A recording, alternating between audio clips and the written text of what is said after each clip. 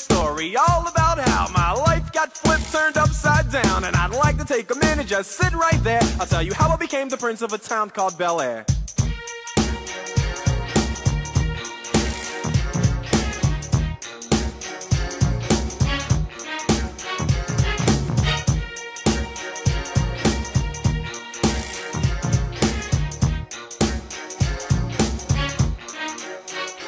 In Philadelphia, born and raised on the playground is where I spent most of my days. Chilling out, maxing, relaxing, all cool and all shooting some b-ball outside of the school. When a couple of guys who were up to no good started making trouble in my neighborhood. I got in one little fight and my mom got scared and said, "You're moving with your auntie and uncle in Bel Air." I begged and pleaded with her day after day, but she